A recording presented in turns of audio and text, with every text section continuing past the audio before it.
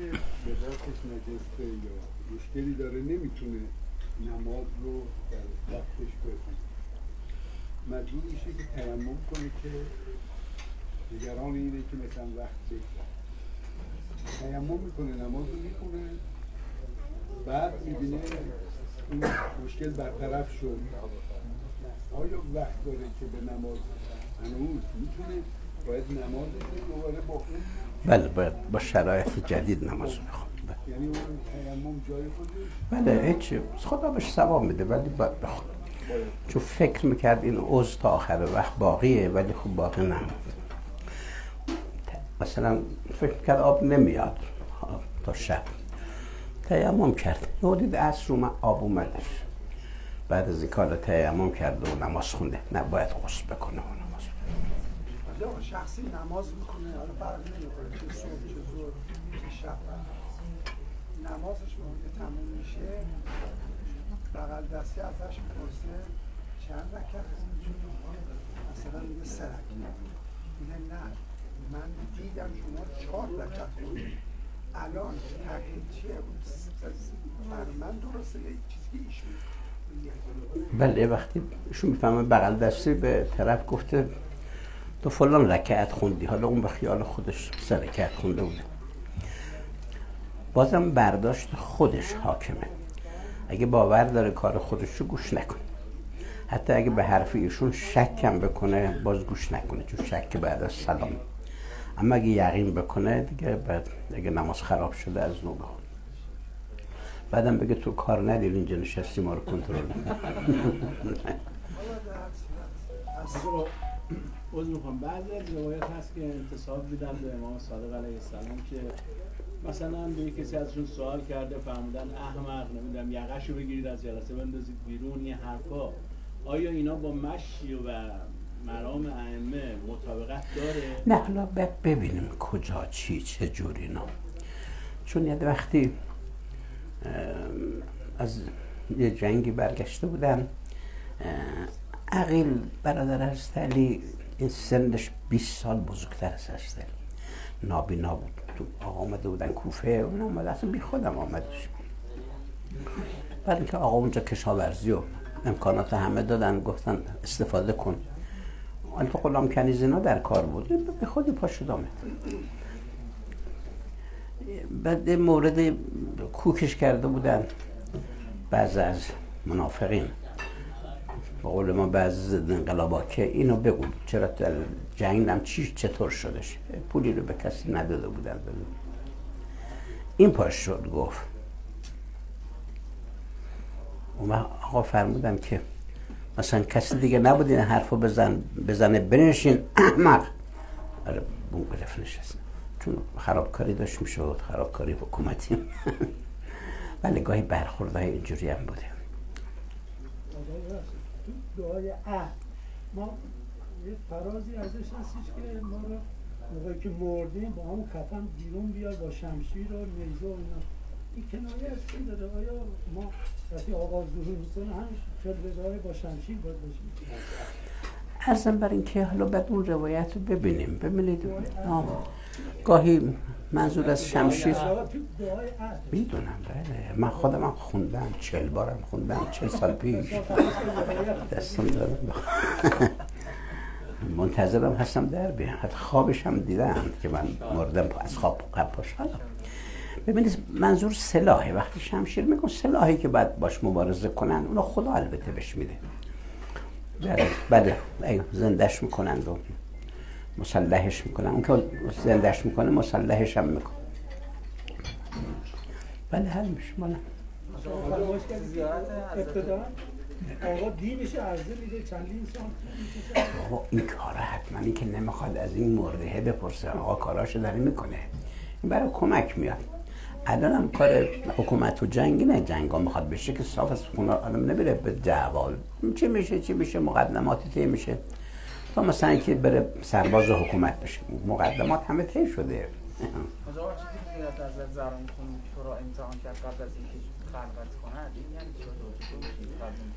اینکه خیلی باها الان که در جهان میایم این یه خلقه.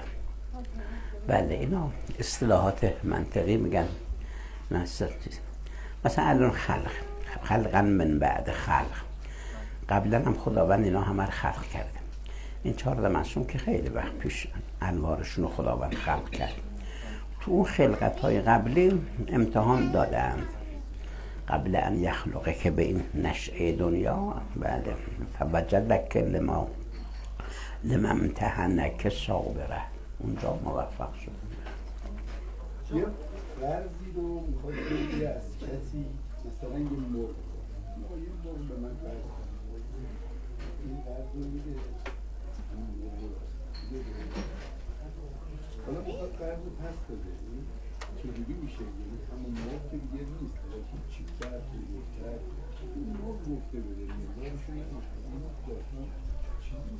باید این پس بده که؟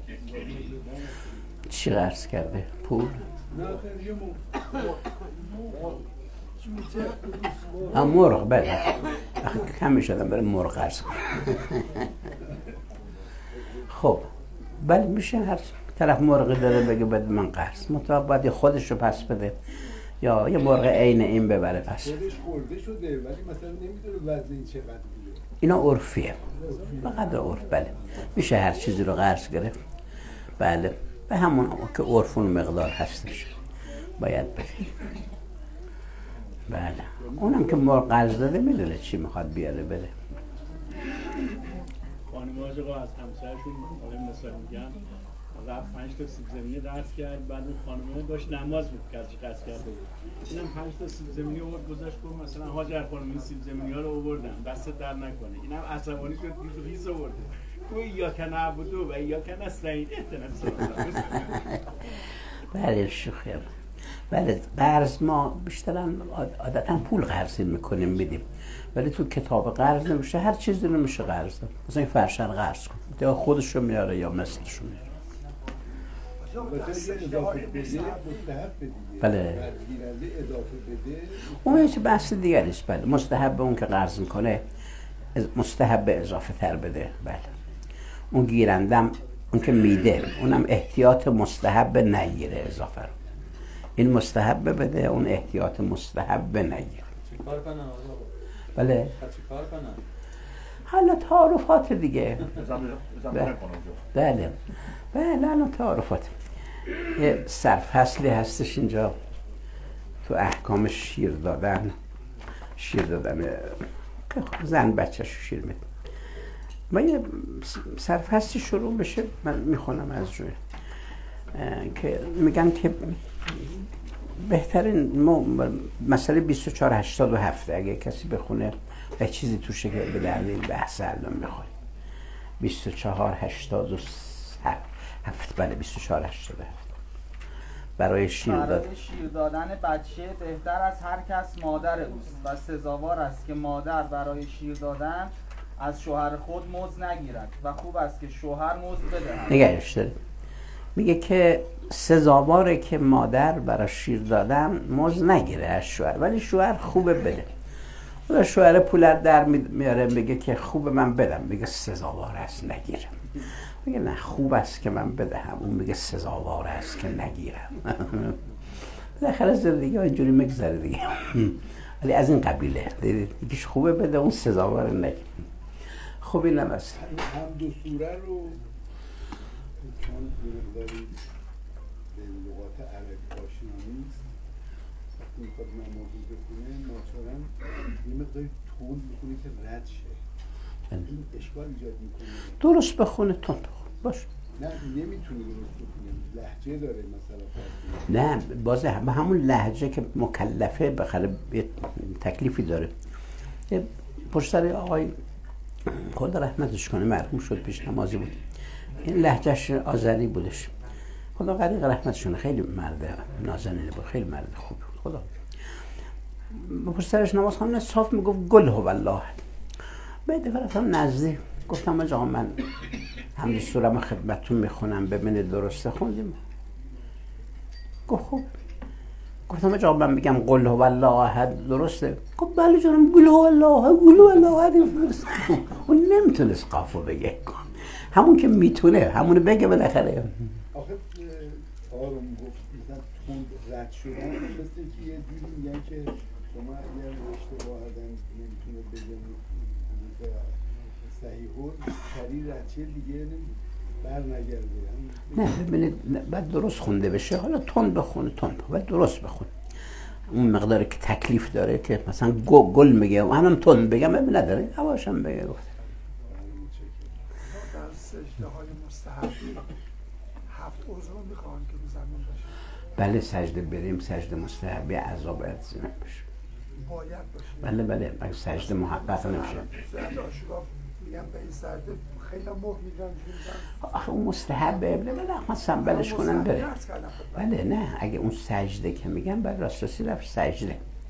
بله. حالا اون ثواب نمی‌بره دیگه آخرش. نماز مستحبی هم هم هفت عضو بله. می‌خوان. بله فهم نماز مستحبی هم باید با شرایطش درست خونده بشه. خب در سجدهای واجب قرآن هم همینطور هفت عضو باید خب حالا اون چون تو رساله نوشته از این رو می‌خونیم که از این رساله هم استفاده کنیم.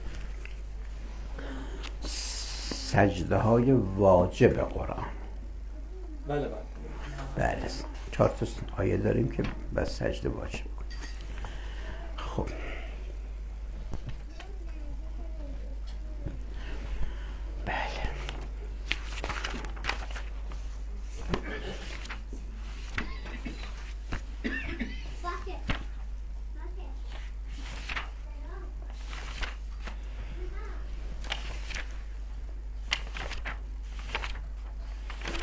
شما هم بیاد تو احکام سجده. ده نود و آه بخونید یه خوش رو اه، مسئله در هر یک از چهار سوره و نجم اقرا علم تنزیل و حامیم سجده یک آیه سجده است که اگر انسان بخواند یا گوش به آن بدهد بعد از تمام شدن آن آیه باید فورا سجده کند.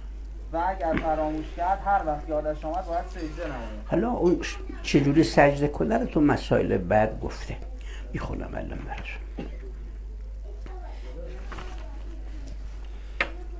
در سجده واجب قرآن ده نود و هفت. نمیشه ود به چیزای خوراکی و پوشاکی سجده کرد. آخه آقایون محل سجده رو تو نماز واجب میگن خوراکی و پوشاکی نباشه معدنی هم نباشه. اینجا معدنیشو حرف ندارن ولی خوراکی و پوشاکی میگن نش محل سجده. ولی سایر شرایط سجده را که در نماز است لازم نیست مراعات کنه. پس سجده باید بکنه. روی چیزای خوراکی و پوشاکی هم نباشه. اما مثلا سایر شرایط رو به قبله بودن لازم نیست. وضو داشتن لازم نیست. سطر عورت لازم نیست. مثلا تو ماشین یه سرشو بذاره جلو میشه؟ نه. بله آیه سجده رو اگر به خون تو ماشین یا استماع کرد کسی خون رو هم استماع کرد بزن- بزنه کنار سجده کنه و سوار شه. این معدنی رو که اشکال می‌گیرن گاهن دیدن سنگ مرمر رو می‌ذارن تو مساجد این معدنی هست یا نه؟ نه اون ببینید اون یه چیزی شده بعد حالا این از رو براتون بخونم یعنی منظور طلا مورد این چیزا رو میگن که بله حالا میگم اینجا به چه چیزایی میشه سجده کرد؟ میشه سرفصلی شده. چیزهایی که سجده بر آن صحیح هست از اون مسئله قبلی همون پیشانی مثلا بذاره رو مرد سجده بکنه سجده های واجب قرآنی. بگن عرف بگن سجده کنه اون کارو حالا کافیه. بله چیزی نمی‌خواد. ذکر چیزی. چیز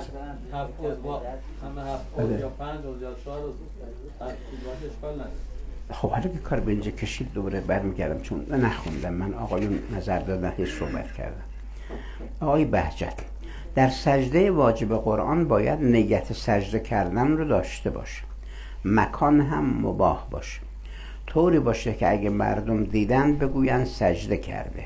اینو میخواندم ولی سایر شرایطی که در سجده نماز معتبر است لازم نیست. مانند پوشاندن عورت پاک بودن مهر یا چیزی که بر اون سجده می‌کند. بلندتر نمودن محل سجده از محل پا. گذاشتن دستها و زانوها و نوک انگشتای پا بر زمین. به این هم داره کنسل می‌کنه. یعنی حالت سجده رو داشته باشید ولی اونا اگه میزون نبود اب نداره. بگن سجده کرد. مثلا در این صورت لازم نیست کفش شدن در بیاره. وقت شب سجده مصطفی نه؟ می‌خونیم آشتیستانی نوشته در سجده واجب قرآن باید جای انسان قصبی نباشه. بله. جای پیشانی از جای سرانگشتانش بیش از چهار انگشت بسته بلندتر نباشه که این آقای بهجت نمی‌خواست اون می‌خواد ولی لازم نیست با وضو یا غسل و رو به قبله باشه و عورت رو بپوشونه. بله. و لازم نیست بدنش جای پیشونی اینا پاک باشه. یعنی چیزهایی که در لباس نمازگزار شرطه درش شرط نیست. آیت الله سیستانی. در سجده واجب قرآن بنابر احتیاط واجب باید جای انسان قصبی نباشه. بنابر احتیاط مستحب جای پیشانی از جای زانوها و سرانگشتان بلندتر و پستر نباشه که این چون احتیاط مستحبه می‌تونه انجام بده. بله خورده. همچون ارتباط توجه به سجده آیه سجده هم شرطه برای خود سجده یا نه؟ اگه من آیه رو می‌خونم خودم سجده می‌کنم. شما متوجه نشدید. بعد به شما میگم آقا من آیه سجده خوندم. شما می‌تونید فتوش به جا یا نه؟ چشم. بله، چون نوشتن از رو می‌خونم براتون گفتن که اگر انسان آیه سجده را بخواند یا به آن گوش دهد نه به گوشش بخوره گوش دهد. فرق می‌کنه بله. بعد از تمام شدن آیه باید فورا سجده کن یعنی اگه متوجه نشدین آیه سجده است که معلومه خوب بله یه وقتی گوش کرده ولی ذهنش نرفته با آیه سجده اون باید سجده کنه. یه وقت اصلا بنای گوش کردن نداشته به گوشش خورده چیز اون واجب نیستش. در قرآن اه، حرمت موسیقی مبتنی بر کدوم آیات؟ ارزم ب- موسیقی حرام بله. اینجا بله. بله همینه. اینجا سوره لقمان. البته چند جای قرآن هست مثلا تو سوره حج هم هست. مثلا اینجا سوره لقمان. اون وقت اینجا کلمه نحو الحدیث تو سوره لقمان هست. سوره لقمان همسایه سوره روم لقمان یعنی منتها بعد از سوره رومه این سوره روم الان باز شد. سوره روم سوره لقمان بعد. آیه هست که اعوذ بالله من الشیطان الرجیم. آیه شیش آخرش زده. و من الناس من یشتری لهو الحدیث. برخی از مردم کسانی هستند که سخ- سخن بیهوده را می‌خرند حالا آیت الله مکارم تو تفسیر نمونه فرمودن که روایت داریم که در بعضی روایات لهو الحدیث و موسیقی هم تعبیر کردن تف- تفسیر کردن ائمه فرمودن. بعد ایشون میگن که حالا که بحث موسیقی می‌خواد بشه من بگم چی حرامه اصلا موسیقی چی هست؟ هفتش ورق. خدا اجرش بده. اون مرجع هم هست قشنگ شهر میده که این چیه این حرامه. خب من به دقت مو به ما همش خوندم دو جور صدا داریم که حرمت داره. یکی با حلق دهن خونده میشه. که معمولا اینه که با دهن خونده میشه اسمش قناس که نوع حرامه اما وقتی با آلات موسیقی زده میشه نواخته میشه. و هر کدوم از اینا وقتی حرامه که شهوت جنسی رو تحریک کن حرمتش مال اونجاست. فقط زن حق داره برای شوهرش و بالعکس بخونن که تحریک کنن. دیگه کسی نمی‌تونه با موسیقی کسی رو تحریک کنه. از موسیقی در درمان استفاده میشه. یعنی اون که نخوا بله اون برای تحریک نیست. اون تحریک شهوت جنسی آخه چیزم مفسدم توش پیدا میشه بله. پس نمیشه. بله. اصلا این موسیقی های می‌زنن که انسان حالت اشتها پیدا می‌کنه. توی بعد رستورانا می‌زنن مشت. توی مرغداری های نوع موسیقی زده میشه که مرغا بیشتر مثلا می‌خورن چی می‌کنن تو قسمت های روانی تو بیمارستان های روانی بخش های مختلف موسیقی های خاصی است.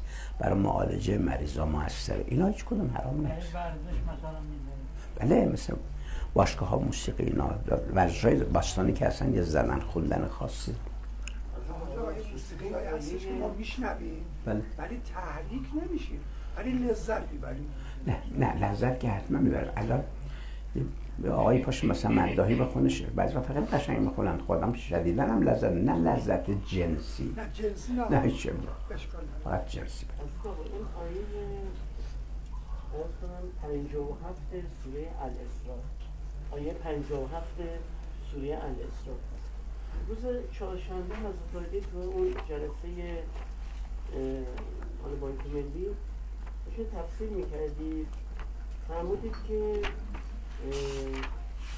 توی این آیه تمام معجزاتی که انبیای بزرگ حالا حضرت موسی رو مثال زدید حضرت عیسی رو مثال زدید مثلا معجزه رو انجام بدن تقرب میجستن به نام محمد و آل محمد. نام معجزه رو انجام بدن من عرضم اینه که آیا الان ما مردم عادی ما الان می‌تونیم به صلاح یعنی مصداقی داره این گونه برداشت بکنیم که ما حرف مثلا می‌خوایم بکنیم توسل به مثلا پیامبر و اهل بیتشون بشیم. یا این مصداق خاصه یعنی اینجا فقط تو این آیه تاکید به حضرات انبیا بوده. یه بنده خدای بود خدا رحمت خیلی سال پیش داشت تعریف می‌کرد خانم بود بودیم یکی از زن یه خانومی کنم چه حاجتی داشته؟ بچه چه گرفتاری داشته حاجت می‌گفت آی خاتمی امام ها رو زله کرده بود. یعنی انقدر متوسل شده بود. ولی خوشمزه کرد این امام ها رو زله کرده. ولی این آیه رو که شما مطرح کردید چون دوستان که نبودن بخوریم چی شدش. آیا آمدش که انکم و ما تعبدون حسب و جهنم؟ در سوره انبیا.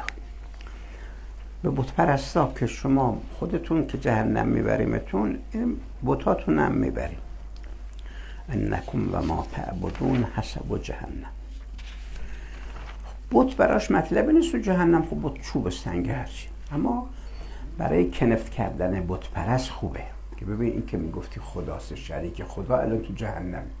دارم میسوزه مثل نه عذاب کن نمیشه میسوزه. خدا میگه میگه خب اگر این تو هم آیه هستش اگر اینا آلهه بودن که الان تو جهنم نمیمدن صفحه 330 قرآن. انکم و ما تعبدون پنج خط میاد از صفحه بالا. من دون الله حسب و جهنم. همتون خودتون و بوتاتون هیزمای جهنم. انتم لها واردون. بله همتون میره تو جهنم. لو کانه ها اولا آله هم اگه اینا اونجوری که شما می‌گفتید خدا یا شریک خدا ما وردوها الان که تو جهنم نمی آمدن و کلون فیها خالدون. مشرک نشستن صحبت کردن گفتن که محمد میگه که از خدا به من گفته که شما با بوتاتون میرید جهنم. یکیشون گفت بعضی هستن عیسی رو میپرستن. خب پس عیسی میره جهنم. بعضی عزیر رو میپرستن یهودی. عزیر پیغمبر. اونم میره جهنم. گفتن خب اگه جهنم توش عیسی و عزیر باشه باشه ما باشیم. به پیغمبر گفتن یعنی چه حرفی زدن. فرمودن شما عربید. قرآن میفرماد انکم و ما تعبدون. ما به اشیاء میگن به اشخاص نمیگن. ما اشخاص میگن الذین یا من. ما یعنی شی یعنی هم چوبا و اینا. اون خدا این آیه رو فرستاد در جواب این بت پرستا بله صفحه 287 قرآن چهار آیه بیاید بالا از آخر است اولئک الذین یدعون مشرکین این عزیر و عیسی که شما مطرح کردید خود اینا یبتقون الی ربهم الوسیله. اینا خودشون خدا پرست بودن حتی برای برای گرفتن حاجت از خدا وسیله می آوردن یبتقون الی ربهم الوسیله زیرش نوشته. خود به سوی خدایشان وسیله می جویند یعنی کسی رو واسطه می‌کرد. ایهم اقرب. میگشتن عیسی. میگشت ببینه خودش مقربتر که اونو بگو خدایا به خاطر اون مثلا این حاجت من. عزیرم همینطور. اینا یرجون رحمت رحمت خدا رو امید داشتن. یخافون عذابه. اینا خودشون از عذاب خدا ترسان بودن. بی خودی مردم گفتن خداشون چه کاری نکرده؟ من یا عزیر.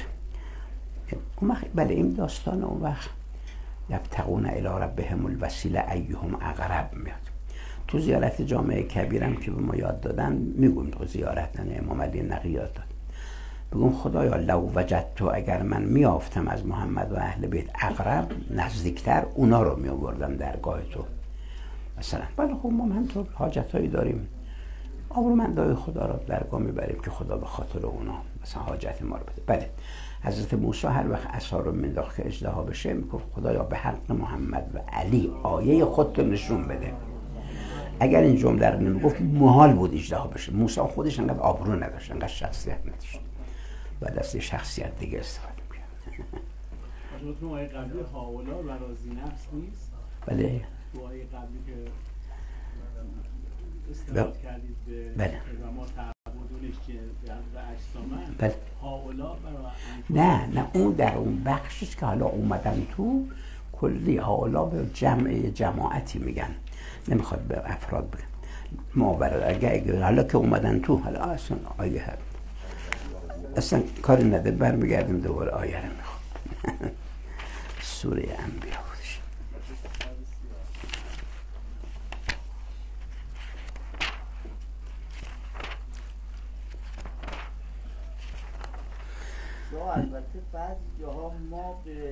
بیشعورم بله نه اون سر جاش بله. اما بت پرستا داشتن شرارت می‌کنن. بته که جونی نداره افتاده یه میتراشد میگن بت اون عیسی که نیومد گفت منو بپرستی یا عزیر اون که به خودی بیاره جهنم بیاره اونا. خدا آخه اینا خودشون بنده های صالح من بودن از من حاجت می‌خواستن حتی از خودشون مهمتر رو درگاه من وسیله می آوردن اینا عباد من بودن. اینا رو که نمی‌بریم جهنم. در مقابل اونها. بله. بله آخه لو خدا به اوت پرستا میگه هاولا اینها. هاولا اینها. این اشاره به اینها سال به هر جوری که هستن اگر اینها آلهه بودند ما وردوها. حالا اشاره است دیگه اشاره به اون بتهاییست که بردن تو جهنم. خوبه نه چیزی نداره نیست که حتما انسان باشه.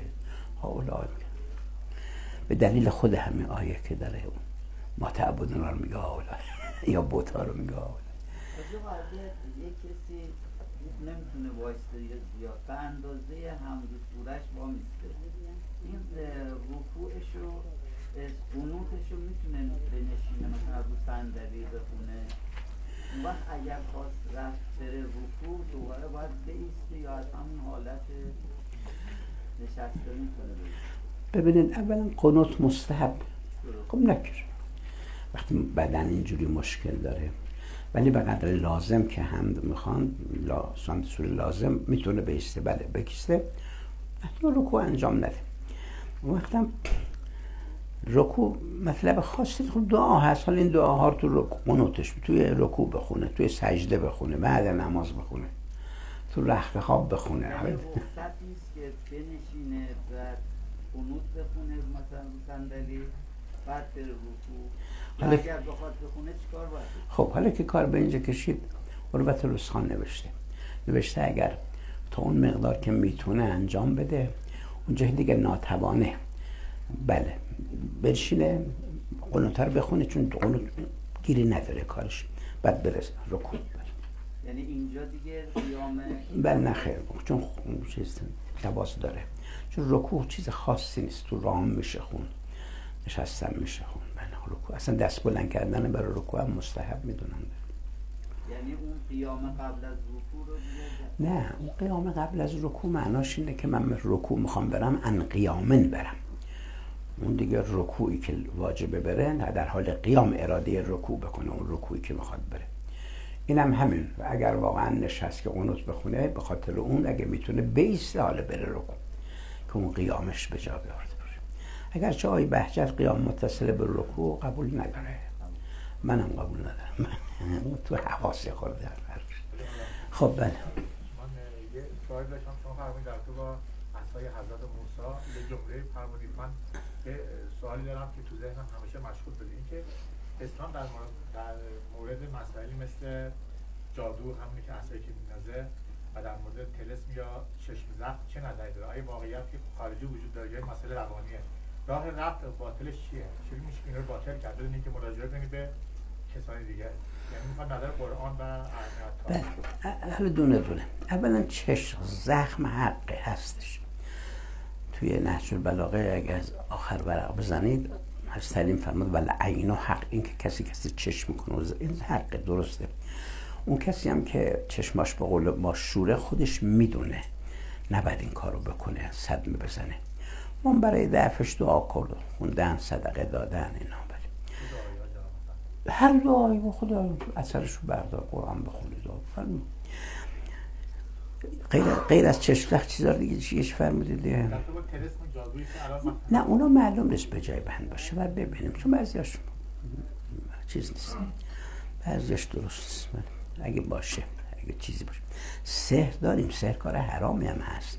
صدمم ممکنه با سحر بزنن. ولی خب نباید بکن. چرا هم دعا کردن هست هم.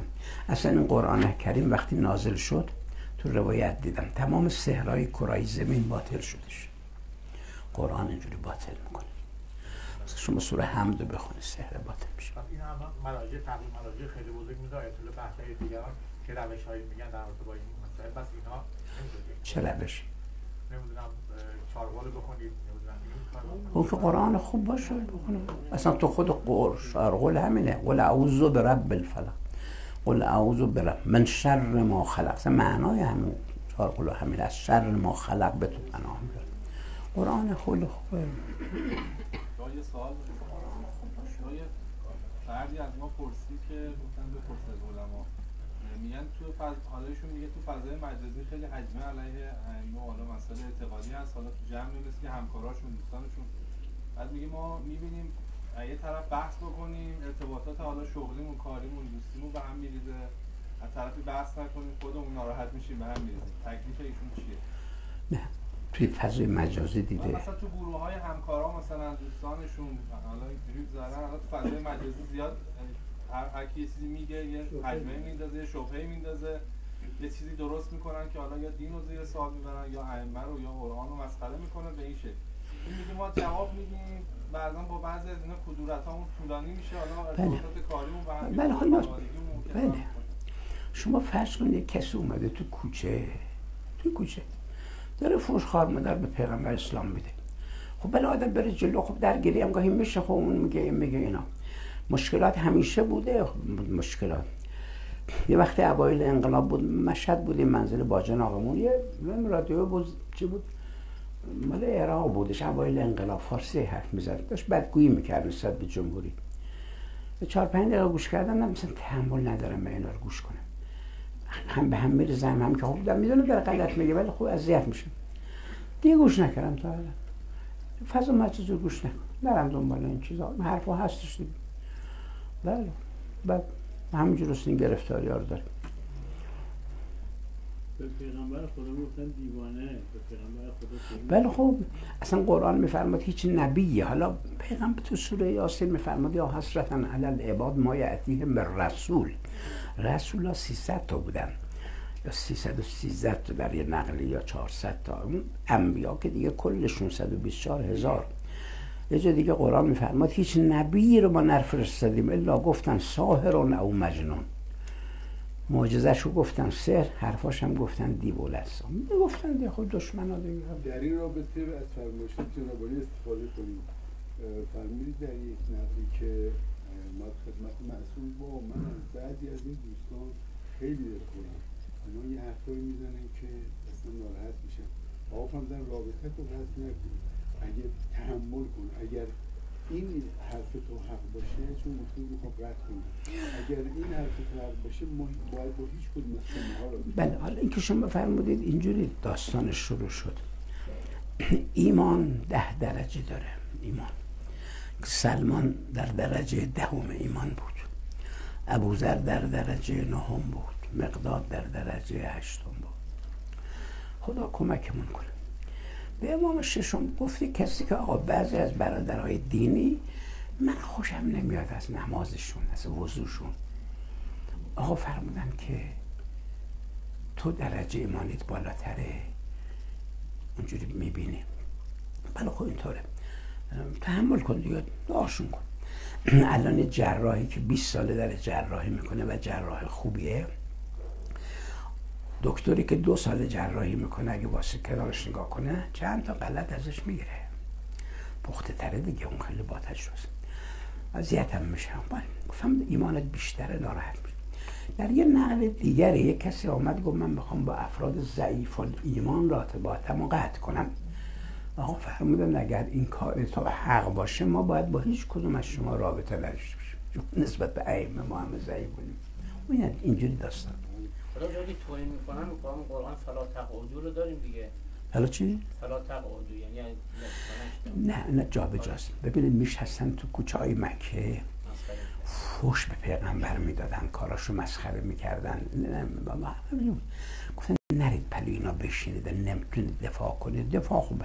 نه نمی‌تونید جواب بدید یا به هم بزنید. ننشینید چون سیاهی لشکر میشید برات.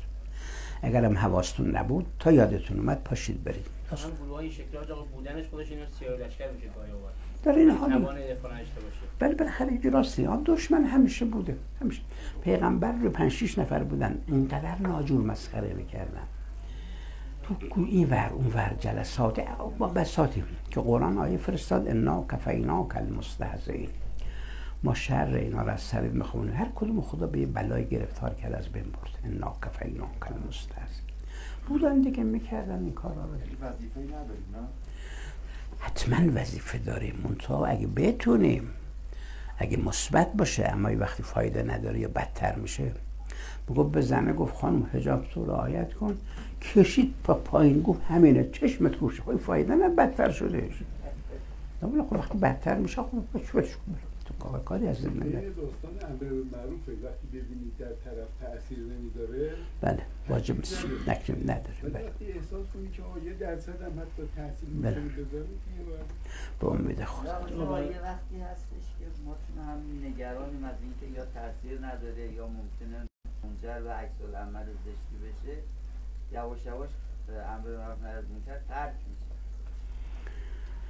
بله.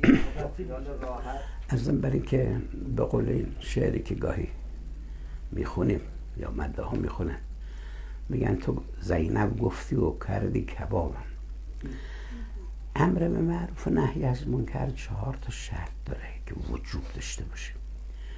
یکیش این که خوف ضرر نباشه. یعنی وقت میکر انجام میده بگو درگیری دعوا کشت و کشتا خوف ضرر ما حریف نیست. کم احتمال اثر داشته باشه. یکی همون حرام جدی داره انجام بگیره شما بلدی حکم شر. اون وقت اینو براتون بگم. ببینید این مثال می‌زنم و اون بعدیش رو عرض می‌کنم. الان تقریبا تو کوچه خیابونا که میایم شب نصف شب روز مثلا نمی‌بینیم یه بچه گشنگی داره گریه می‌کنه. خیلی نمی‌بینیم من که یا یه نفر داره از گشنگی میناله. ملتی که میدن پدر مادر ها غذا رو میدن به بچه ها چون تکلیفشون نمیکن و بالاخره یه جوری اون کسی که وظیفه خدا ازش می‌خواد به این دختر بگه هجاب تو بکن پدرشه مادرشه عموشه اون داداش بزرگشه این جلو پدرش نمی‌تونه ارزندام کنه. ده اون ملعون این کارو نمی‌کنه که حالا این روز جور شده. امر معروف فقط وظیفه نبوی نیست وظیفه کل اجتماعه. منطقه اون که می‌تونه. و وقت دولت ها باید دست در بیارن. دولت قویه نمیترسه. یا اونا چی بکنن؟ باید این سیستم های امر معروفی را بیفته. سال 53 یعنی چند سال مونده بود به پیروزی انقلاب. من مکه بودم. به من نشون دادن گفتن اینا مامورای امر معروف دولت سعودی هستن. سونیا مامور رو انداختن امر معروف با راه بندازه. دولت میترسه مردم. ولی به من بگه چشمت کن اون با ماشونا چه دور دیده بلد هر چی تکلیفه. قدرتمندا باید بیان وسط و چی بکنن. اینجور شده که کار به اینجا کشیده. یعنی عده تکلیفشون رو انجام نمیدن. و حتما هم به عذاب الهی گرفتار میشن. چون خیلی شدید قضیه. من این دوست مطلبی گفتم از فرمایش های آقای خمینی هم در امر معروف براتون بخونم. ببین همینجا همین داستان رو اشاره کرده بشیم این امر به معروف بله. 477 امر به معروف. شروع شد مسائلش اینو. دارن همه چی رو میگم. ارزم بر اینکه مسائل هم طور داره گفته میشه. چه کنن چه کنن. تا میره می‌رسه تا آخر. این امر معروف از منکر رو یه اوایلش که شروع میشه یادم مسئله هشتم هستش. یه مسئله داره که اون وقت پرش همه رو می‌گیره نوشته این جلو صفحه 467 تحریر الوسیله امام جد اول کتاب امر به معروف اینم مسئله هشت. یجب تعلم شرائط الامر بالمعروف و نهی عن المنکر. به همه مکلفین از مرد و زن واجبه شرایط امر به معروف و نهی از منکر یاد بگیرن. موارد وجوب کجاست؟ موارد عدم وجوب کجاست؟ موارد جواز کجاست؟ موارد عدم جواز کجاست؟ چون ممکنه این که رفته نهی از منکر می‌کنه خودش داره منکر انجام میده. یعنی وقتی میگن نکن و از اینوری میشه. دیگه نباید این کار انجام داد. مسئله بعد میفرماد اگر امر بالمعروف یا نها عن المنکر در موردی که جایز نیست. تازه یه نفر دیگه واجبه به آن نکنین امر معروف و نهیش کنه از این کار. ببینید اینا رو بعد فرا بگیریم و بیان وسط. حالا اینا رو دیدید؟ حالا اومدیم اول امر معروف چند تا روایت آی خمینی فرموده اینجوری شروع میشه. میفرماد که امام هشتم فرمود. فرمود از قول پیغمبر که پیغمبر یقول همیشه اینو می‌گفت. اذا امتی تباکلت الامر بالمعروف و نهی عن المنکر اگر امت من بگن اون امر معروف کنه اون بگه اون بکنه اون بگه اون بکنه یعنی به دوش هم مندازن فلیعزنو به وقاء من الله منتظر عذابای الهی باشید. باز روایت دیگری پیغمبر فرمود لا یزال همیشه امت من به خیر هست. مادامی که امر معروف می‌کنن نهی از منکر می‌کنن تعاون بر بر می‌کنن. اگر این کارو نکنن برکات برداشته میشه. سلط بعضهم علی بعض. بدا به خوبا مسلط میشن. هیچ کمکی هم از آسمان از زمین براشون نمیاد. باز امیر المؤمنین خطبه خوندن در حین خطبه گفتن امم سابق علت هلاکتشون این بودش که مردم معصیت کردن ربانیون احبار نهی نکردند اونا هی ادامه دادن به معصیت ها و باز اونها نهی نکردن. ربانیون و الاحبار این علمای ربانی و دانشمنداشون. تا این عقوبت ها و مخبراشون بود. بعد میفرماد امر به معروف کنه نهی از منکر کنید بدانید امر به معروف نهی از منکر نه عجلی رو نزدیک می‌کنه نه رزقی رو قطع می‌کنه. امام باقر فرمود در آخر زمان مردمانی میان افراد ریاکار یتقرعون خودشونو به حالت مثلا دینداری هم می‌زنن یا تنسکون حتی حالت های متدینی می‌گیرن اما تازه کارن صفیحن امر امر به معروف نهی از منکر نمی‌کنن. مگر یه وقتی که از ضرر در امن باشن برای خودشون رخصت درست می‌کنند و اینها. بعد دارن ادامه میدن. و وقت پشتش میفرماد اگه اینجوری بشه هنالک یتم مغضب الله عز وجل علیهم. خشم خدا همگان رو میاد می‌گیره. ابرار در دار اشرار از بین میرن سقار در دار کبار از بین میرن. امام ششم نامه نوشت به رؤسای شیعه باید افرادی که سن بالا دارند و قدرت دارند توجه کنند به جهال و طلاب ریاست یعنی امر معروف نهی از منکر کنند. و الا من بله. امام ششم دائما لعنتتون می‌کنیم باید بکنند جا اون که می‌تونه بکنه نکنم که خب بله بتون راه بیفتن چی بکنن؟ معلوم درست بشه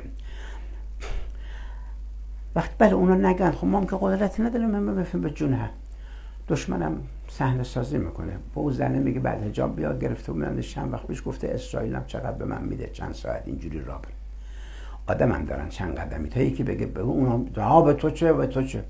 خب مگه ما مردیم ما سرباز داریم تفنگ داریم نمیگم تا بزنه تو مغزش خب بیان میترسن درد بزنه صحبت کنه.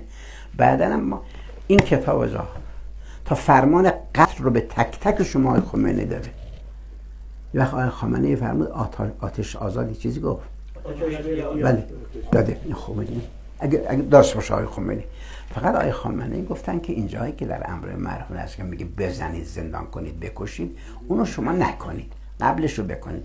بیاد بدید من بکنم یعنی دولت بکنم دستور تا آخر دادن جدی اوامر الهی. دم بگین چه کنه چه کنه چه کنه. انشالله بیان تو میدون یه خورده تعطیل شده. بله. درست متوجه فرمودین که که هم نمی‌کنه دخترش بله. فرمودین م- خیلی خیلی همچین پر فرمودین ملعونه. صد درصد از اگر این حالا مثلا امر معروف امر معروف می‌کنه حالا چه همسرش چه بله. دخترش چه پسرش و حرف گوش نمیده برای هر عنوان. این چه جوریه نه ببینید وقتی امر معروف تکلیفش رو انجام داد من مثال زدم. دختره به شما میگه به تو چه؟ اما به پدرش جرأت نمی‌کنه نونش رو داره میده. بله. ننهشو بیرون. به. بله. نه می‌دونم این قسمت ها بالاخره وقتی سربازی هم رو به ارتش بود وا میسته اینا نک نشه. ولی از 80 تا 90 تا 100 تا یکی دو تا اینجور پیدا میشن. قدرتمندا بیان وسط. اون وقت دولت زور داره به تو چی دخر می‌گیره زندان. تا قتلش اینجا نوشته. آی خامنه‌ای هم گفت بدید من بکشمش. نگو ولش کنید بره. نگه تعطیل با حکم خدا. خب نمی‌کنم تعطیل شده. این امر معروف. تعطیل شده. تظاهر از زمان علینا است. یعنی واقعا الان حتی پیش بینی می‌کنن که شاید شاید خدا نکرده حتی رژیم به دست همین زنها ساقط بشه. با همین کار ارزم بر اینکه شوهر خاله من کارمند چیز بانک کار بود. بانک کار ساختمون بلنده. اول ساختمانی که بلند ساختن تهران اون بود و بعد الان این ساخت نگهبان بودش. گفت خود روز 22 بهمن که آقای خمینی آمد پشت تلویزیون که الان گرفتیم تلویزیون. روز پیروزی. بله. گفت وقت. گفت بعد از ظهر بودش. گفت دیدیم در این شیشه بانگو می‌زنند اینا. رفتیم دیدیم به نظرم گفت سه چهار تا. از این زنهای بیهجاب بودن. یه جوری التماس در رو باز کردیم. شنیده بودن آی خمینی گفت ما بیهجابیم الان میکشنده اومدم تو بانک. گفت ما رفتیم از همسایه ها آشنا بودیم سه چهار تا چادر گرفتیم. آقا مردم به طور طبیعی می‌فهمند آخون یعنی حجاب به وقتی ما رو دادیم نکردیم نکردیم نکردیم نور هنوز هیچی چی نشده اومده بود میگم الان می‌کشند و می‌فهمن دین یعنی حجاب دین یعنی این. خب وقتی نگوم نگوم نگوم نگوم اینجوری میشه. و خدا لعنت کنه اون که می‌تونه بگه و نمیگه. خدا لعنتش کنه. همچه که امام شیشون گفت من دائما لعنت می‌کنم شما رو. شوخی نداره. تعطیل شده دیگه. دین خدا تعطیل شد. حاج آقا ببخشید برای مثلا مرحوم پدرم من تصمیم می‌گیرم یه سوره از قرآن رو بخونم. حالا مثل خمیازه که میگن حسوده اصلا قرآن بر نداشته یه سی چل نفر میاد تو ذهنم که اینا منتظرن. بله. آیا میشه هم یه سوره رو برای حتما میشه بله. پیغمبر به زهری زهرا فرمود کارایی رو دستور دادی که اینه؟ فرمود قبل از اینکه بخوابی همه مؤمنین و مؤمنات رو از خودت راضی کن. در این بخش این تیکه چند تا دیگه هم بود. از کرد پدر جون من چجوری همه؟ فرمود بگو اللهم اغفر للمؤمنین و المؤمنات او خدایا همه اینا که تو ذهن منه و اونایی که نیست. ولی میده خدا به. غسل مست میت رو ترتیبی انجام میده. میشه اینو التماسی هم انجام بده؟ بله. غسل غسل میشه التماسی انجام انجام داد. غسل مسمه التماس غسل بله مگه مس میت از جنابت ذلیل‌تره خب اونم میشه اونم میشه مرده رو مرده رو چی چرا التماسی غسل درش بیارن بله آب آبا رو به قدر کر می‌کنن آب صدر و کافور مضاف نیست می‌کنن که همه بدنشو بگیره در میارن بله بله بله بله. بله بله بله. حتی من داشتم این فتوا رو چند سال پیش می نوشتم دیدم اتفاقا دخالت انسان هم لازم نیست. حتی کافری می‌تونه انجام بده حتی دستگاه انجام بده. مورد تو آب صدر و کافور و خالص و کفن بشه بره. بعد اون دستگاه بعد اومد. از آقای مکانی شیدم پرسیدن گفته درست اب نداره بله. الان وقت چای شد. الرحمن الرحیم إنا أعطيناك الكوثر. فصلی لربك وانحر. إن شانئك هو الأبتر. صدق الله العلي العظيم اللهم صل على محمد وآل محمد وعجل بسم الله الرحمن الرحیم در طول تاریخ از خدا آدم صفت الله تا الان تا آینده. نیمه از جمعیت ما که البته نصف بیشتر زن هستن.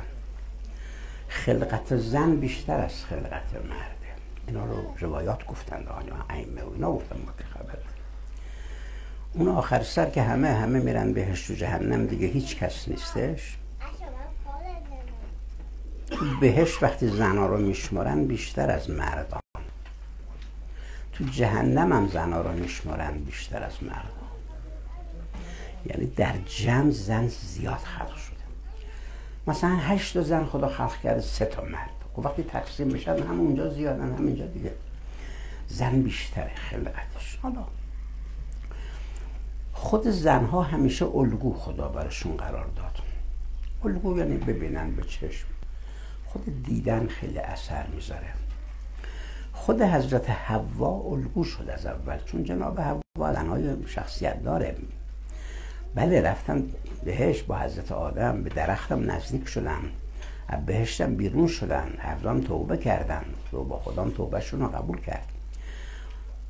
دعایی که کردم برای قبولی توبه گفتن ربنا اننا ظلمنا انفسنا و ان لم تغفر لنا و ترحمنا لنکونن من الخاسرین. خودم قبول کرد.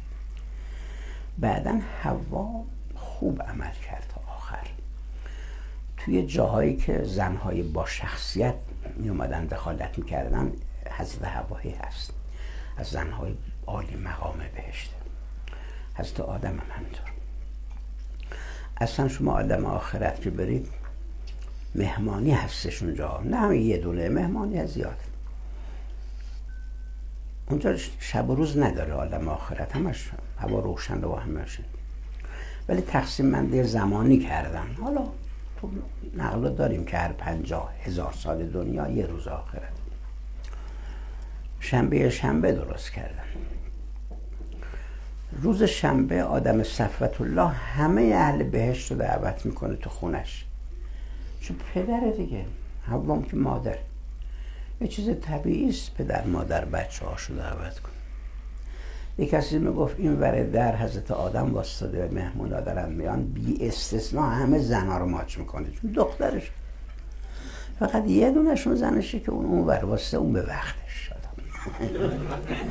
حوام هر مردی بیاد بره ماچ می‌کنه چون بچهش یه دونه مرد استثنا اونم اون رو شوهره اون به وقتش. پدر مادرم دیگه خب حق بهشون بدید خب پدر مادر هم. ولی از دعوا زنای با شخصیت بهشت. هم تا طول تاریخ. پیغمبر فرمودن که یه مطلبی که حالا دامنش همگانیه. پیغمبر فرمودن در جمع مردان مؤمن که به کمال رسیدند زیاد هستند. به من خبری ها خدا توقع داره من شما که مردیم به کمال برسیم. زن هم همینطور.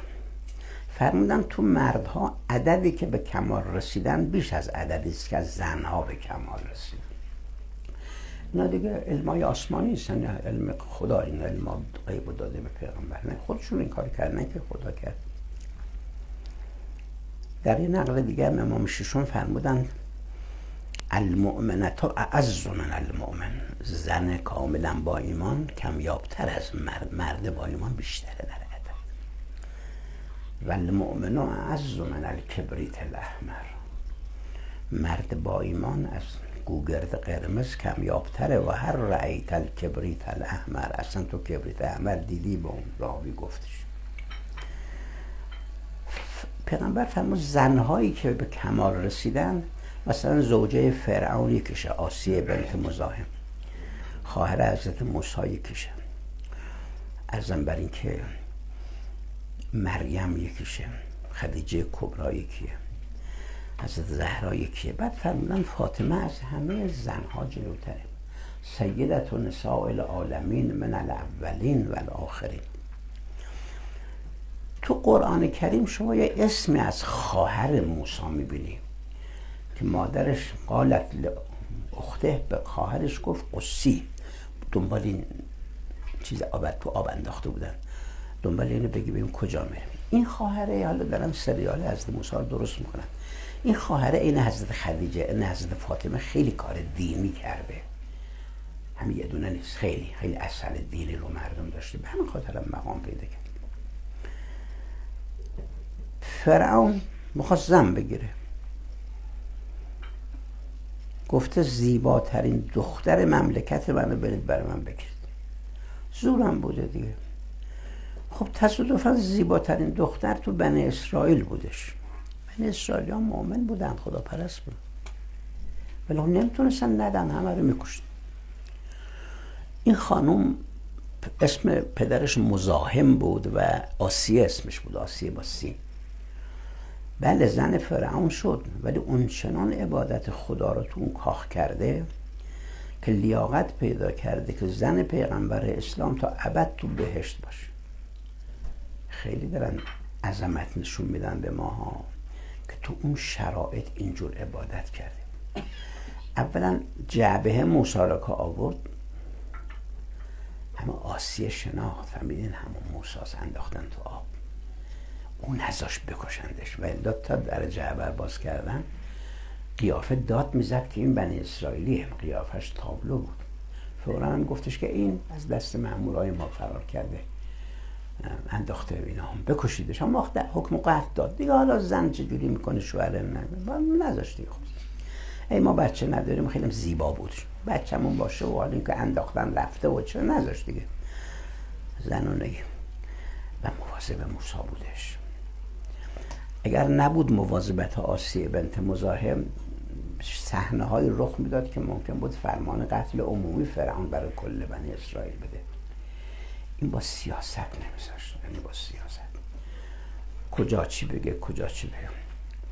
داستانی تو دنیا امام ششون فرمود داره میگذره همیشه. یکی از شاگردای امام ششون بشه منزل آقا بودش. آقا می‌خواست مشغول عبادت بشه و اینها. خواهش کرد آقا من مزاحم نمیشم من دلم می‌خواد تو اون اتاقی که شما عبادت می‌کنید تا صبح من اون کنار باشم کاری به شما ندارم. آقا قبول شد. اینم دقیقا هر کاری آقا می‌کرد می‌کرد. رکون می‌رفت رکون می‌رفت سجده می‌رفت سجده می‌رفت. بس می‌تونیم هم پایای امام امروز شب عبادت کنیم. صبح آقا فرمودن که مجده بهت میدم. نه مجده رو به ایشون میده ولی برای همه است. فرمودن هم بوده هم تا قیامت هستش. همیشه هستش. خداوند دوستانی داره. بغل گوش زلمه. پلوش. مثلا پسر اون ظالمند یا زنشه یا آبجیشه یا وزیرشه. فرشی اولاکه هم المؤمنون حقا. اینا واقعا مؤمنن ولی تقیه می‌کنن. اصلا رو نمی‌کنن. حفظ می‌کنن مؤمنین رو با اون سیاست ها و بلدی هایی که دارن. گفت اگر اینجور نباشه مؤمن ها در جهان اونقدر نیستن. ریشهشون رو می‌کنن. عددی نیستن. اینا نمی‌ذارن. اون نمی‌فهمه که این سمپات خداست. فکر کنه مثلا وزیرشه فرما تو بدون این قضیه همیشه هستش. فرعون با این شدت شرارتی که داشت می‌کرد یکی زنش به طور مخفیانه که اونم نمی‌فهمید. بنی اسرائیل یعنی مؤمنا رو و مؤمنات رو حفظ می‌کرد. هرچی می‌تونست. یکی دومین شخصیت مملکتش. تو مملکت فرعون شخصیت که اگه فرعون نبود این حرف می‌زد حرف اولو وزیر مالیه بودش اون که تمام ثروتان در اختیارش بود. همینه که قرآن براش آیه فرستاده مؤمن آل فرعون. همین مؤمنه. رجل مؤمن من آل فرعون یکتم ایمانه. تو سوره چهلم قرآن همینه. این دومین شخصیت بود. هر وقتی فرعون تو در جلسه نبود اون حرف اول می‌زد. نمیشناختندش واقعا مؤمن بود و همین که خودش حفظ کرده نفهمن و بتونه کار خدایی بکنه مؤمن خودش خیلی سخته خیلی. خبر رسید به فرعون که آقا موسی رفته بیرون دربار زده با مشت توی سینه وزیر قله شخصیت مملکت اداره قله. کشتدش. همین که موسی زد کشتش. فرعون تو جلسه بودش. جلسه و حکم قتل صادر. خود فرعون. اگه فرعون نبود اون نمیذارشون صاف صافش این دیدش که هشت تا از سوار فرستادن آدرس هم دادن موسا کجاست. رسیدید بکشیدشون. موسا رو. حکم قتل هم خود فرعون ساده این بند خدا خب هیکل کذایی داشت و قیافه سرشناسی رو بیچاره مثلا دستشوی اب دیوار پرید تو حیات میون بر این حیات اون حیات بلد بود راه ها رو میون برد. اونا از جاده می‌رفتن. پا بره. بدون اصلا همطوری بودو بودو بودو بودو. قدر خود واقعا کشت تا زودتر رسون به موسا بدونست محل کجاست. قرآن هم خبر داد. جا رجل من اقصى المدینه آرام دور بوده و میدوید. تعجب کرد موسا که این دو میشناخت موسا الان 20 سالشه می‌دونید بزرگترین شخصیت بعد فرعونه. ولی اینطور رنگ پریده بازی شلواری مقام زیر پیدنی عرق کرده. هنوهن تعجب کرد. گفت موسا ان الملعه یعتمرون بک لیقتلوک. جلسه داشتیم حکم قتل دو فرعون داد. فخرج. دید موسی همچون مردده که این چرا اومده این چرا اینا؟ فرمود ان لک من الناصحین بابا خیرت می‌خوام وان نست.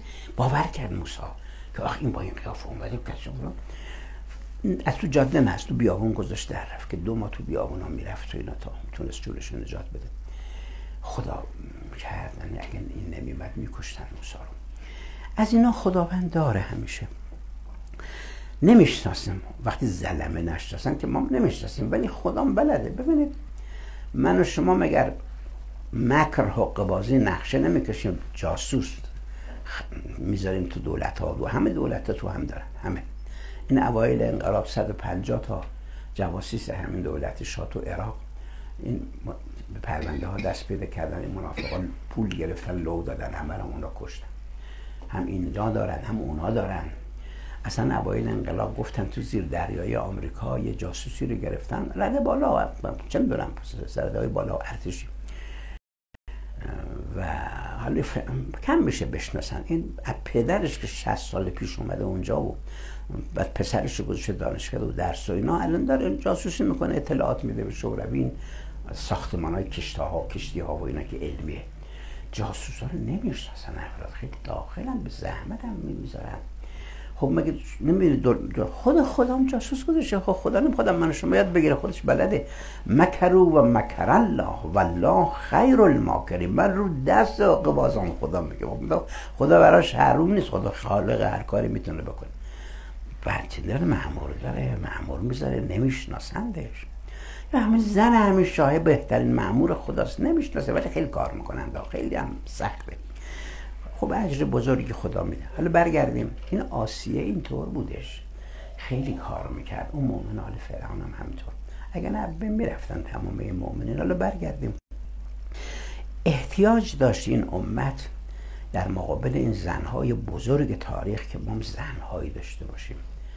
جز امت اسلامی خب با شخصیت همونجور. خب حضرت خدیجه خیلی با عظمت عمل کرده واقعا.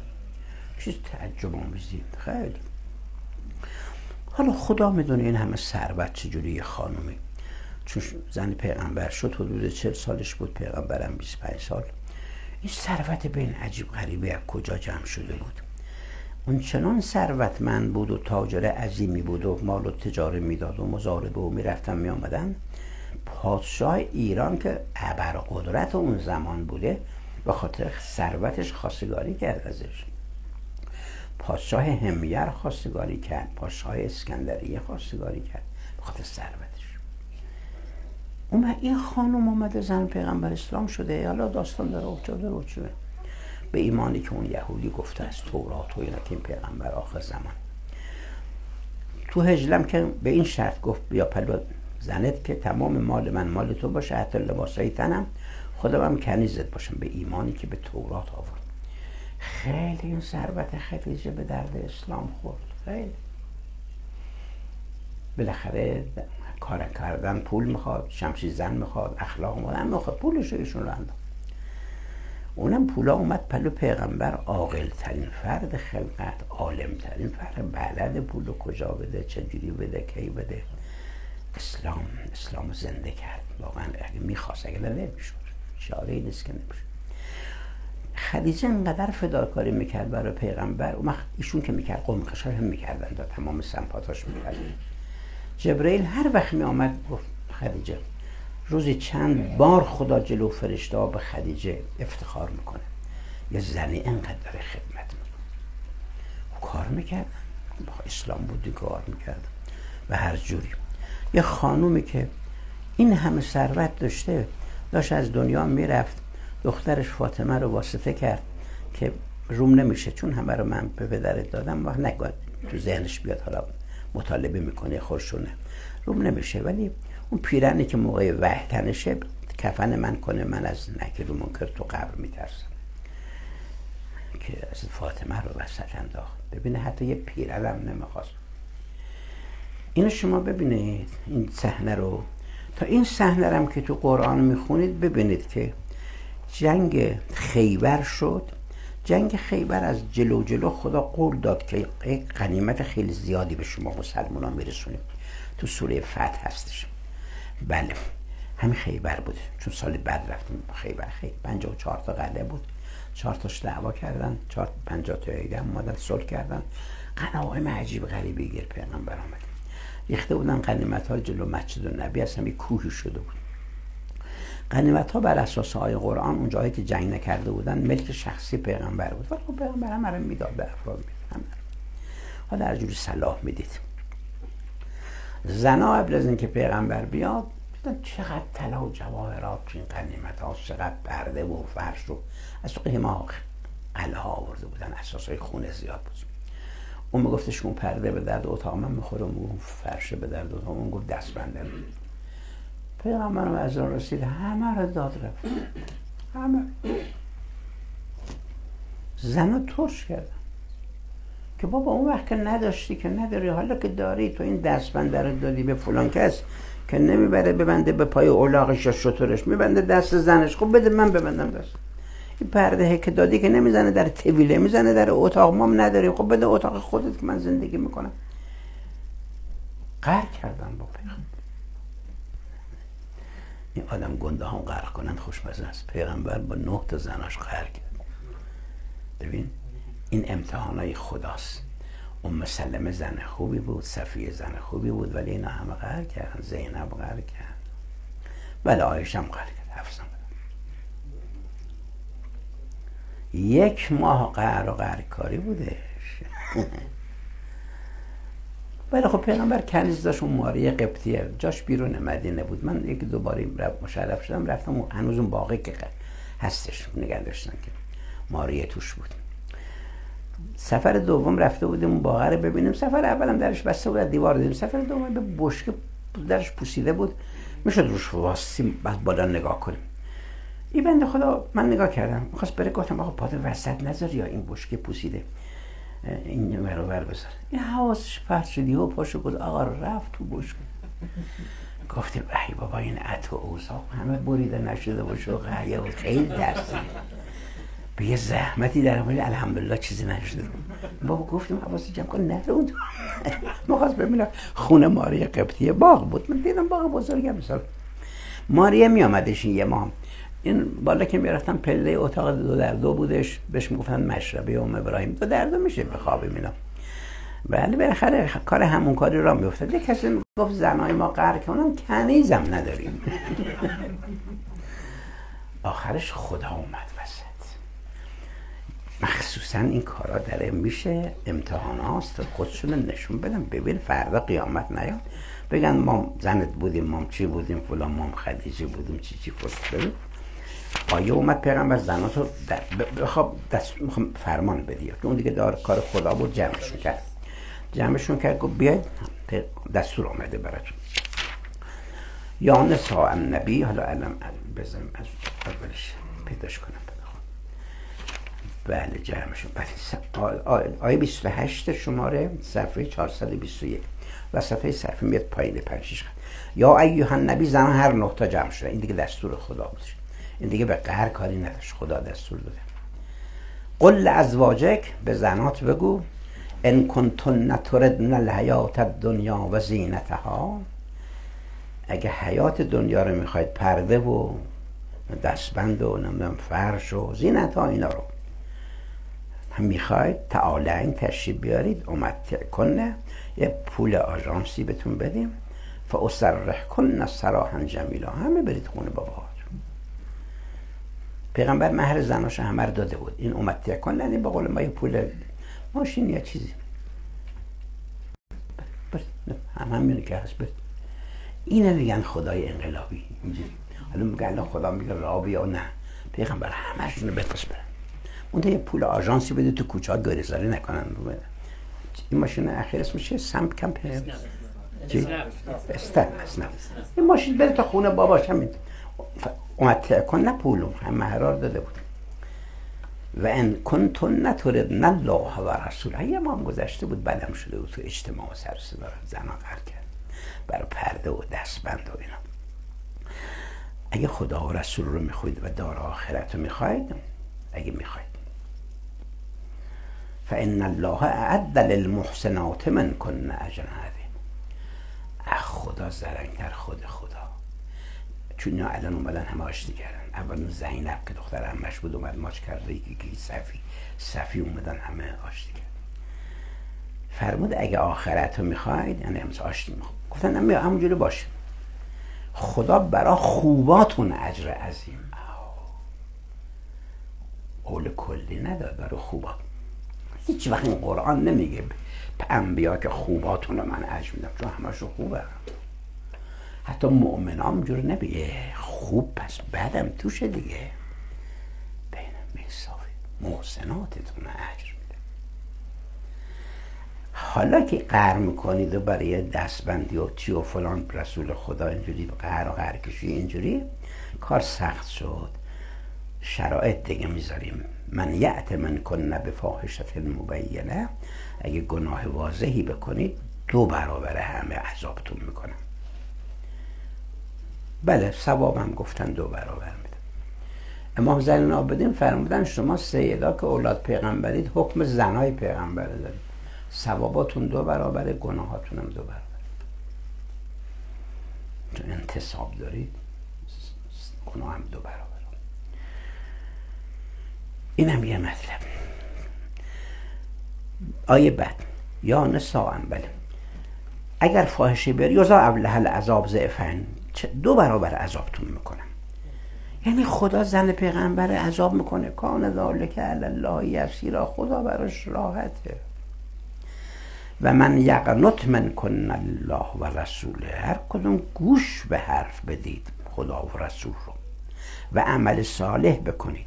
نه اینکه چون زن پیغمبرید آخه ما دنبال مال مف خیلی میگردیم. من زن پیغمبرم دیگه تمام زن هر کس باش اگر گوش به حرف خدا و رسول بدید و عمل صالح بکنید.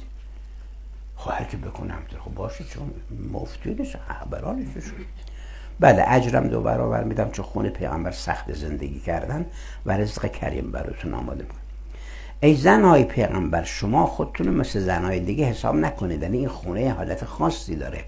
اما اگر تقوا به خرج بدید میره کسی در می‌زنه وقت به وقت.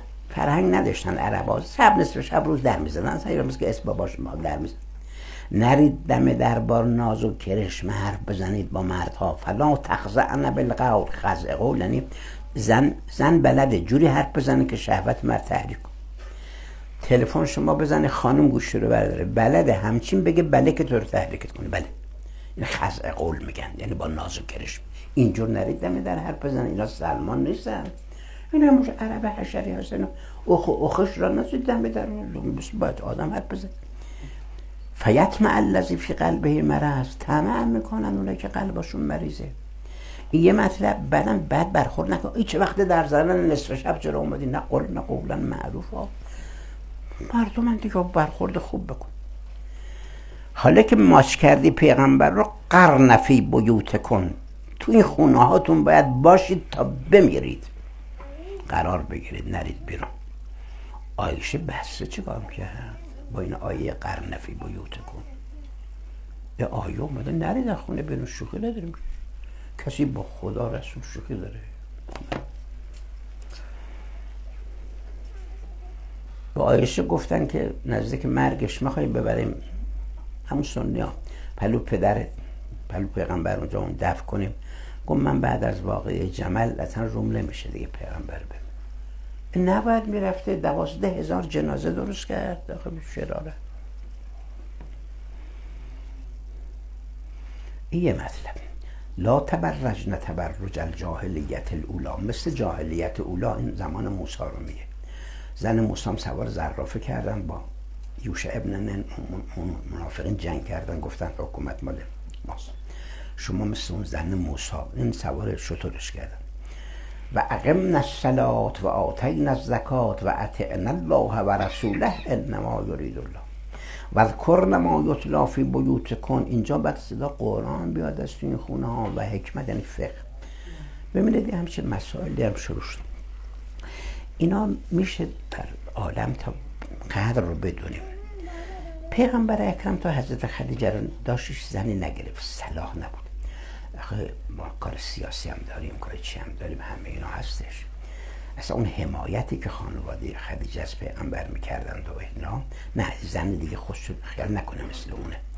پیغمبرم تا حضرت علی هم تا فاطمه رو داشتش زنی نگرفت اصلا کسی خوش ردیف زهرا فکر کنه دیگه جمع بهشت رو نمی‌بینه. یعنی کفر از زهرا انبیا مق ندارن خوش رو ردیف رو حساب کنه. نه نگرفت احترام ببین. اباب احترام. شوخی درست کردن. گفتن که شوخی. گفتن که زنه به شوهرش آره، زنه به شوهر گفتش که پیغمبر تا حضرت زهرا رو داشت نرفت زن بگیره. گفت بابا اون نه ساله اومد 18 ساله رفت تو آخه نمیری که. همیشه هست.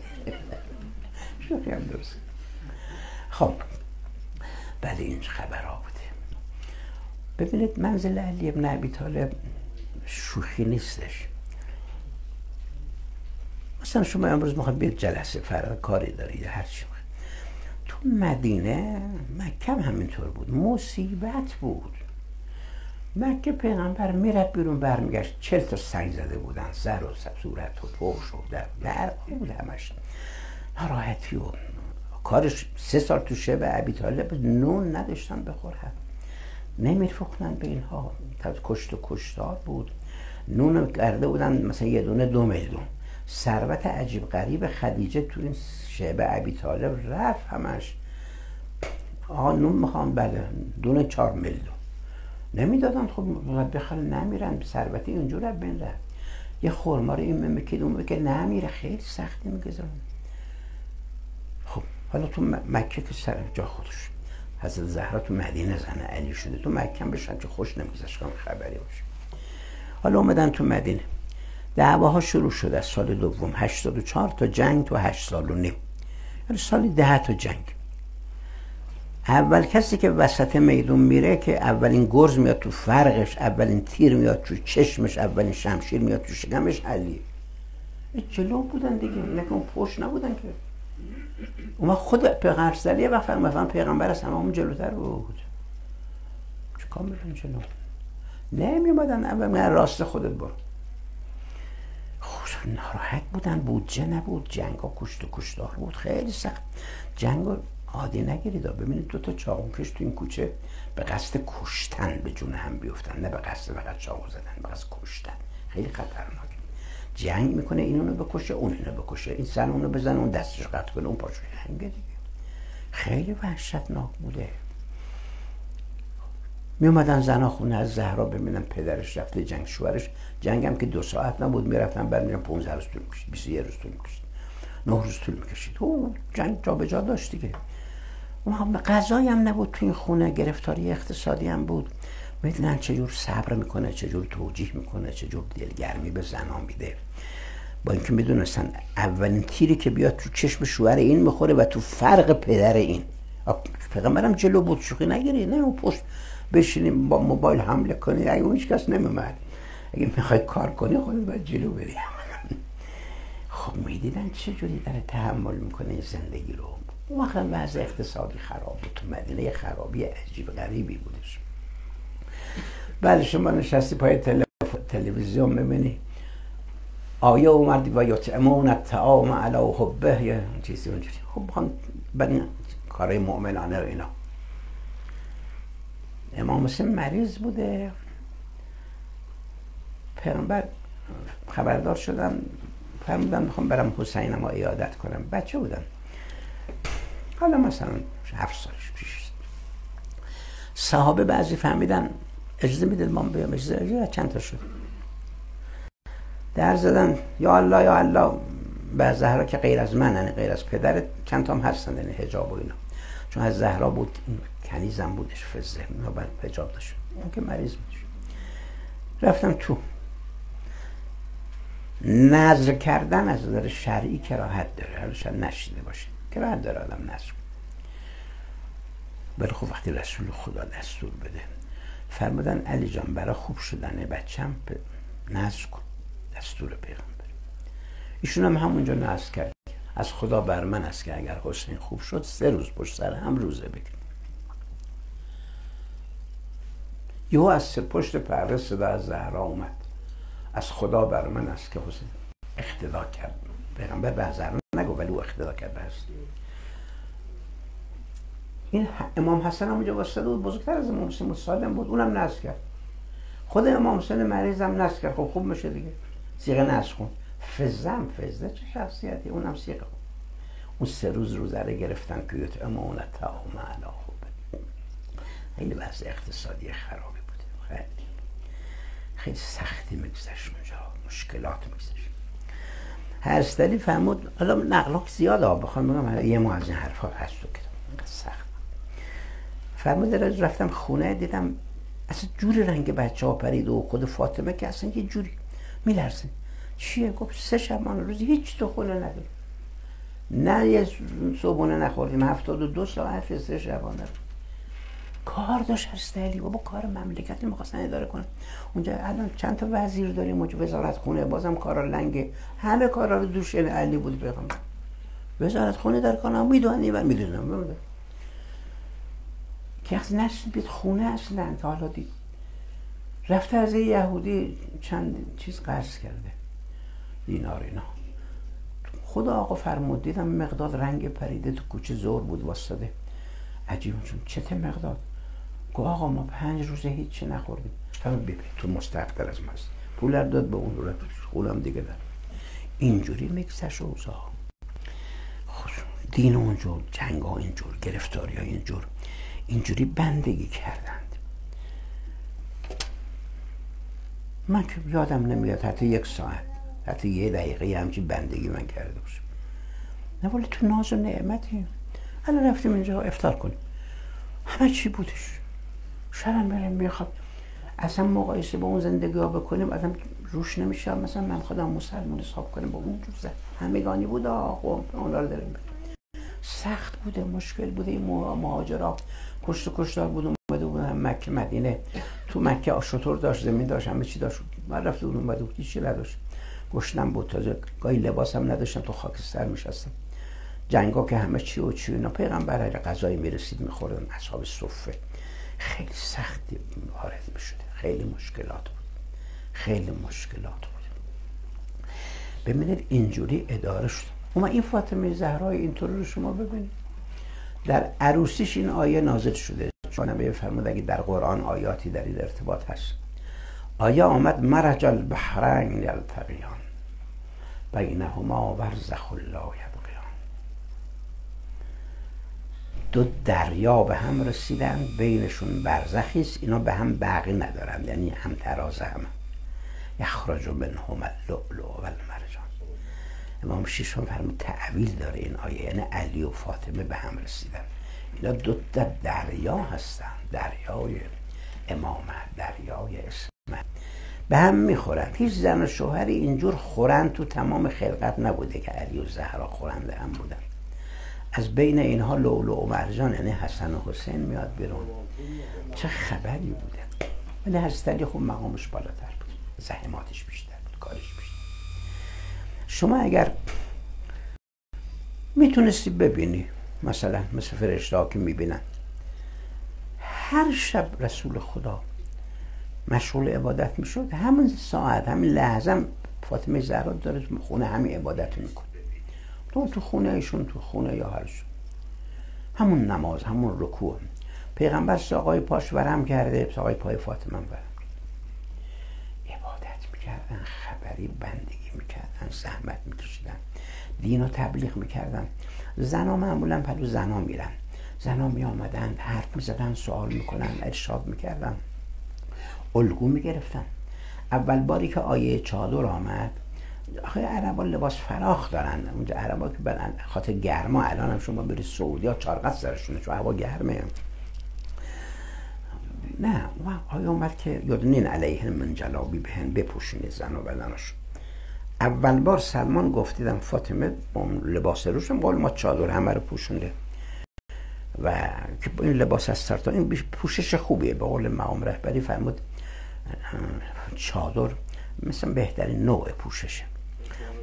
اجابه برتره بله. سلمان گفت شمردم 17 تا وصل چادره داشت.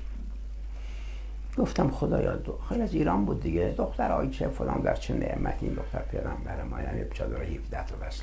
نه هم رنگ نبود پارچه زندگی نبود. دینداری می‌کردند. عبادت می‌کردند بندگی می‌کردند. دین خدا رو کمک می کار میبرده. هیچ بی خودی مقام نمیدن این مقام همه رو بندگی های خداست. نکردن بهترین ها رو کرد. جوری فاطمه زهرا شایستگی به خرج داده که مادرش هم بالاتر زده. بله. ایشون سیدت و نساء العالمین من الاولین و الاخرین. الان در که حق علی گرفته شد این گریه ها که می‌بینید گریه برای امامته. که چرا این دین امامت رو رها کرد و این هم قصد شد؟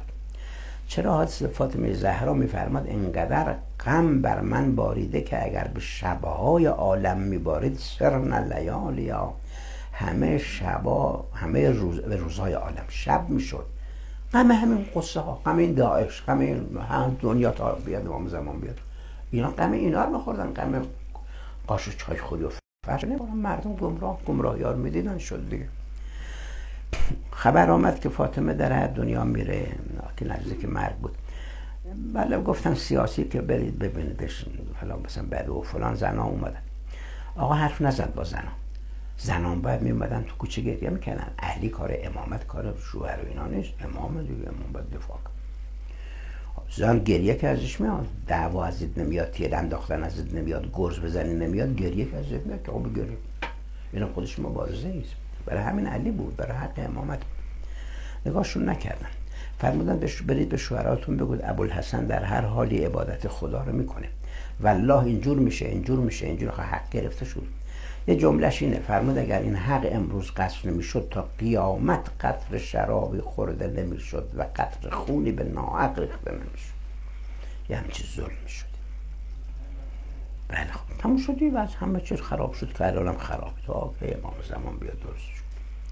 اومده به امام شیشون میگه آقا سه جای قرآن خدا به پیغمبر گفته که هو الذی ارسل رسوله بالهدى و دین الحق لیظهره علی الدین کله. یعنی خود خدا این کارو بکنه. و خب چرا نکرده؟ و یهودی داره مسیح میشه نه تو نذاشتم دیگه نذاشتم.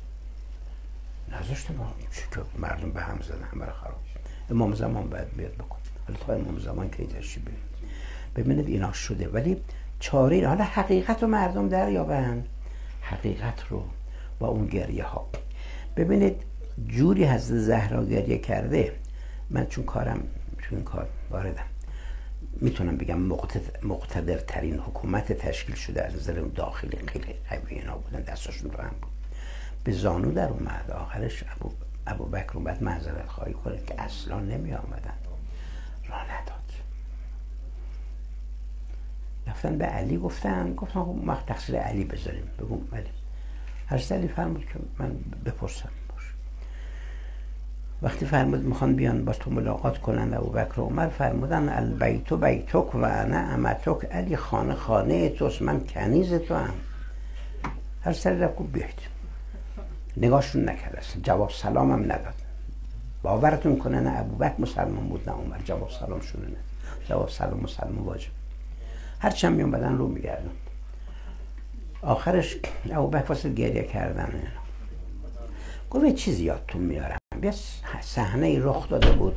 قبلا موردی شده بود. گفت ابوبکر عمر تو هم بودی. کی بود؟ سلمان بود علی بود. کی بود؟ چند تا بودن. اون روز قضیه رو گفت. رفتیم پلو پیغمبر. چی گفت؟ موردی. گفت پیغمبر فرمود رضای فاطمه رضای منه و رضای من رضای خداست. خشم فاطمه خشم منه و خشم من خشم خداست. شنیده بودن؟ گفتن چرا شنیدیم فرمود والله من از شما راضی نیستم در خشمم و دائما نفرینتون رو می‌کنم. روشونو کردم به دیوار دیگه حرف نزدن تا دوتایی رفتم بیرون. و عمر جوش آور گفت بریم وقت اون صرف زنی کردیم رفتم که برسونن به بشریت برسونن من خشمناکم از این. بدونن باطل شده حق رفته بدونن خراب شده. حقیقت. اوایل انقلاب از عربستان سعودی آمده بودن خدمت های خمینی. که آقا این جوان ها خیلی از ما می‌پرسن این قبر فاطمه کجاست؟ آقا بلدن چجوری قبر نیست سوال انگیزه. بابا یه زنی پیغمبر شیر داده. بله قبرش قبرش هست. حلیم سعدیه من رفتم زیاد. زنهای پیغمبر ردیفی قبرشون هست. همه همه قبر خود چیزی نیست قبر؟ آخه این نیست. میگم جوان های سوال می‌کنن چرا این قبر بیاید خودتون قبر رو معلوم کنید ما اجازه میدیم گنبد بارگاه درست کنیم. گفتم بابا ما خودمونم بلد نیستیم کجاست؟ نه که خودمون می‌دونیم بنان گردیم. این قبر مخفی یعنی من ناراضی خبر به همه دارن حرف بزن همه همه. بعد که دفع کردن هیچ کسم نفهمید. فرداش دیدن خیلی بجیری شد. نقشه کشیدن از علی شبونه چل تا صورت قبر درست کرد تو بقیه. بچه نبودن اونا با خاک اثر و کار داشتن. راستی کندن خاک ریختن که اینه که قبر کندن. ولی کار خیلی ببره. بله کار خیلی. فردا جمعیت جمع شدند. و عمرم قسم یاد کرد. تمام این قبرها رو دیدن گفتن چرا تا صورت قبره همه تا فاطمه پیدا می‌کنیم بعد خلیفه نماز بکنه به دختر. یه وقت عثمان بود و بود و اومد گفت علی لباسی پوشیده. من شنیدم از پیغمبر که اگر یه روزی اینجور لباس پوشید دستار اینجوری بس زرد رنگه و یه حربه اینجوری دست گرفت پیغمبر گفته بوده اون روز تمام کره زمین رو نابود میکن وحشت گرفتشون گفت داره میادش. عمرم خواست اینا دلگرم کنه گفت اون خدایی که جان عمر در دستش همه قبرا رو میشکافم جنازه رو در میارم. هر سری رسید فرمود و ولذی نفس علی بیده به اون خدایی که نفس علی در دستشه اگر یه ریک تکون بخوره تمام مدینه رو می‌کشم. اصلا زنده نمی‌ذارم کسی. ترسیدن می‌دونستن حریف نمیشن اینجوری ولی رفتن ترسیدن. آخرش عمر داشت از اون دور می‌رفت گفت علی دیمون است نمیشه باش در بیفتیم. میریم کفاره میدیم قسم خوردیم. چرا می‌خواد می‌خواد قبره لوس نشه قبره اتمام حجت به بشریت. نیست قبر پیداست امام زمانم تا میان بعد از ظهور مدینه میگن قبر مادرم کجا میگن آقا مادرتون قبرش پیدا نیست. چرا پیدا نیست؟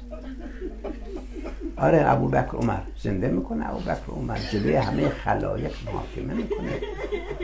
ثابت می‌کنه هر گناهی در خلقت شده گردن شماست. اللهم صل علی محمد و آل محمد.